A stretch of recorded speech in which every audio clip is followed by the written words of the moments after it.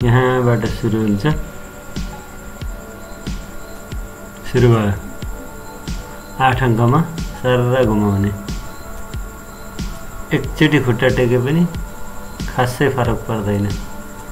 Mark घट्ने हो fail हुँदैन आत्मविश्वास घुमाउने। बाहिर निस्किने। त्यहाँ लाइट हुन्छ सडक बत्ती त्यसलाई ख्याल गर्ने। तातो छ कि हरियो छ? नरोके पनि हुन्छ फेल भइँदैन लाइट घट के अरे? नम्बर घट्ने हो। अगाडि गएर उकालोमा टक्क रोक्ने